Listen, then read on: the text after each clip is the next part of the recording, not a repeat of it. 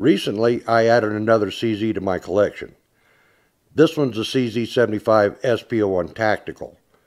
Like the standards SP01, this tactical variant comes in both 9mm and 40 Smith & Wesson. It also comes equipped with tritium night sights. The one we're looking at today is the 40 caliber version. Like the standard SP01, the SP01 Tactical is a full-size CZ75 equipped with a full-length dust cover and a 1913 accessory rail. The significant difference between the two SP01s is that this tactical version is equipped with a decocking only feature in place of the standard SP01's manual safety. Over the years, a growing number of handgun shooters have come to believe that having an external safety is too much redundancy in a double action combat pistol. The drawback was always in manually attempting to lower the hammer with a chambered round. There is always an inherent risk of a negligent discharge should you accidentally fumble this procedure. This model's decocking only feature allows you to safely ready the pistol for use without having to deal with the conventional safety when it comes time to aim and fire. The decocker is ambidextrous and easy to access for either right or left-hand shooters. The decocking feature on the SP01 Tactical works a little different than most other decockers. It only drops the hammer to a half cock position, making the first round's double action pull rather short. One of the things you'll notice about the SP01 Tactical the minute you pick it up is that the pistol feels fairly hefty. It's an all-steel handgun weighing about the same as a full-size 1911.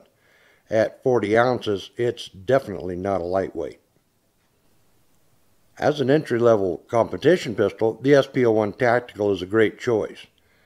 The SP01s have gained a lot of popularity with competition shooters due to their outstanding accuracy, reliability, and quick recovery characteristics. Being soft shooting is a really nice CZ trait, especially when chambered for the 40 Smith & Wesson round. This SP01 Tactical, by far, is the softest shooting and most accurate 40 caliber production pistol I've encountered. The Tactical is fast to get on target, low recoiling, with just enough help to help with sight recovery. What's not to like about that?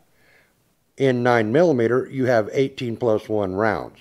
If you prefer something a little harder hitting, this 40 caliber version has 12 plus 1 round capacity. Either caliber comes with two magazines. In case you happen to live where ridiculous restrictions apply, the 10 round CZ75B magazines also fit the SP01s. If you'd like to bump up the capacity in the 40 caliber version, these Mec-Gar SP01 plus 2 magazines give you a total of 15 rounds.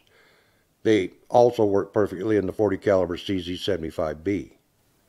Having both night sights and an accessory rail, the SP01 Tactical is a high-capacity natural for home defense. Just install your favorite laser or weapon light and you're good to go.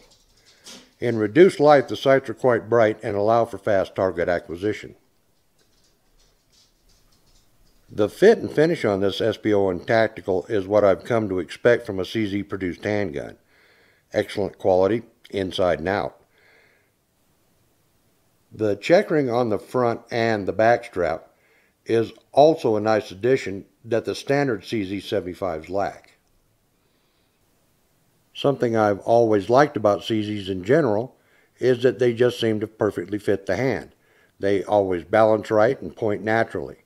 The excellent grip geometry and ergonomics designed into these CZs can't be beat. The price and availability of this tactical model seems to vary from place to place.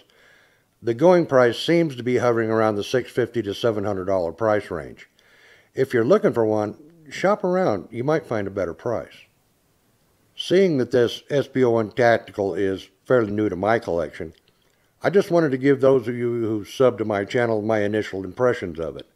So far, I've ran several hundred rounds through it without finding a single thing to nitpick it about. We'll revisit this CZ pistol after I've spent a little more time with it.